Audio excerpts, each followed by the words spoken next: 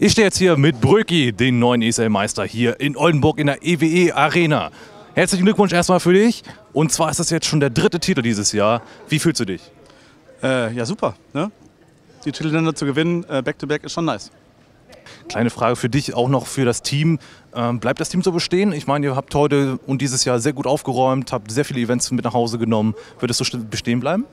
Äh, voraussichtlich nicht. Ähm, gibt ja einige Änderungen jetzt auch in der, in der äh, LCS und so mit den Academy-Teams. Da werden wir wahrscheinlich einige gute Angebote kriegen für ein paar jüngere Spieler von uns. Ähm, wir werden wahrscheinlich ein paar Roster-Changes machen müssen. Auch AHQ im Halbfinale. War das für euch so sozusagen so ein kleiner Underdog?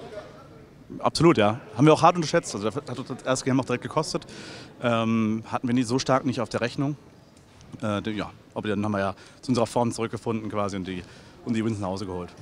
Alles klar, im Finale auch Mousesports. Ein bisschen überraschend auch gewesen, denke ich mal, auch für euch. Ähm, wie war für dich das Game?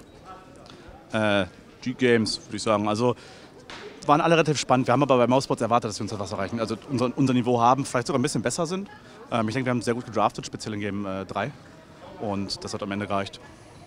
Alles klar. Und wie wird es bei dir weitergehen dieses Jahr oder vielmehr nächstes Jahr? Ähm, das steht noch in den Sternen. Äh, wahrscheinlich mache ich einfach bei ESG weiter. Ich, ich werde weiterhin spielen.